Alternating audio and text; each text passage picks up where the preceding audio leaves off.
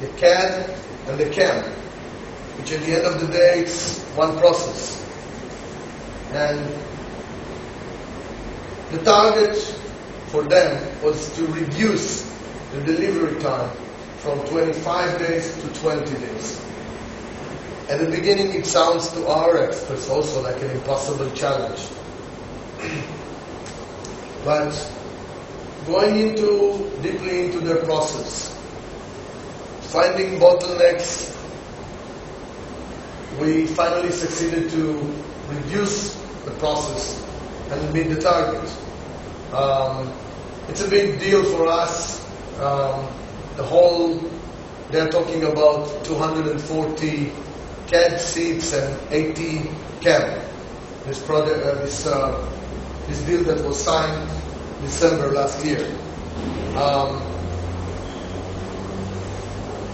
and there were, when you look at the total and the complete um, deal, where we succeeded, we can't say that we can change the whole thing, but how to make an improvement of 25%. And 25% improvement is a big challenge.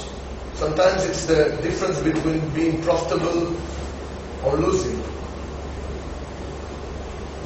One example was looking at the specific parts like the lifters of the molds. They were spending about half an hour, 30 minutes to make a lifter. And we find out that there are 20 to 30 lifters per project. And we help them to, to, to work in a way that they can do it in one or two minutes. So we actually, at the total per project, we saved them almost between one and a half to two days. So we were looking at specific points.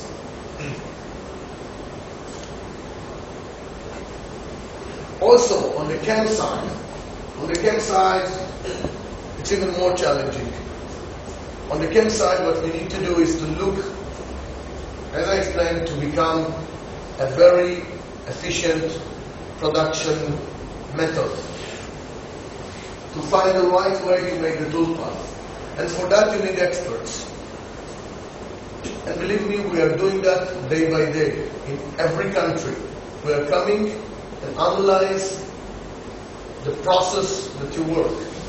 And this is the only reason why you should consider to change or to buy a CAD-CAM software.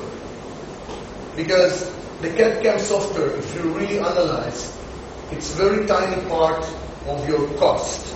It could be 3 to 5% of the project cost. Take the cost of the software, add the maintenance that you pay annually, consider that you use it for, let's say, five to seven years, divided by the numbers of projects and the cost, you make the cost analysis, you will find out that it's no more than 3 to 5%. What are your main costs always? It's the machining, it's, it's the human resource, the labor costs, it's the overheads. When you look at a project and you make the analysis, you see that this is 75%. These three are 75% of the cost. And if by improving your process and finding a different strategy of cutting, we can reduce the time of machining and being more efficient. If we can improve by this 20% that I'm talking about, 20, 25%, you will cut 15% of your total cost on the project. And this is our goal. When my people are sitting at headquarters and designing and developing the project, the instruction for Cimatron or for Gibbs for the people is come up with the best project. We are not trying to give you a mid-rate solution. You can find 50 CAM pro- products in the market that can cut metal. Almost anything can cut the metal. Which software or which solution can put you to be special? Can give you the solution to become better, to improve your process. We focus there. if we deli- if we decrease our prices of CAD CAM and we sell it like some of the competitors that try to sell cheap, and we decrease by 20, 25% the price, and sometimes everybody is asking us for it. You're going to save less than 1% on your project. Less than 1%.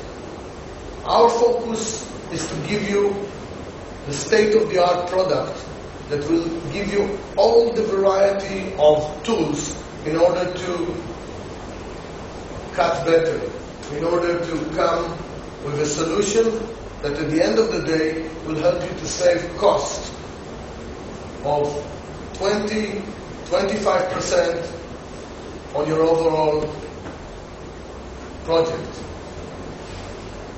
And this is where we are focusing.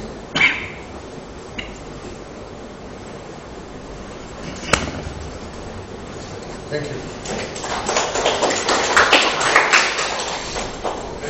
So, any question, gentlemen, for Mr. Kobi after his presentation?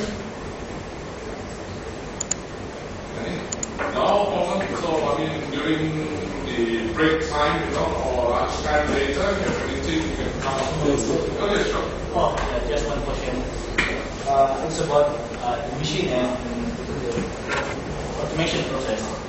Okay, for example, one we have one machine and we need to add some computer to make it fully automated. Is that possible for, for this machine?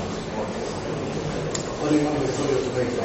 Automated uh, we can upload, we can un- unload and download, upload and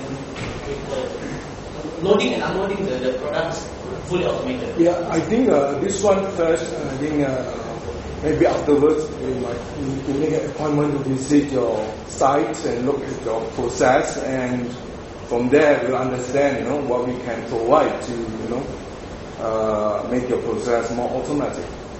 Yeah, I, I believe uh, this is possible. Yeah. But I can I can give you general answer. I'm not a technical person, okay? And even if I was, um, I think Mr. Gan is right for the fact that in order to really understand what are you trying to achieve by saying full automated, we need to understand what is your requirement.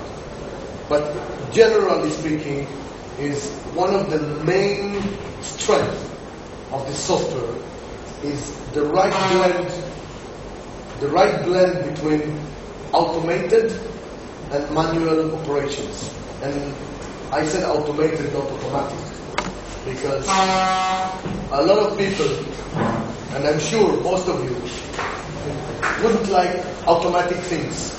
Automatic by means you press the button and the software dictates what you do, and you have no control. Nobody likes that. You like to be in control. You want to stop and you want to do manual operation because sometimes it happens that it's done in a certain way. This is not the way you would like to do it. Automated, it means that uh, you can choose the strategy, you can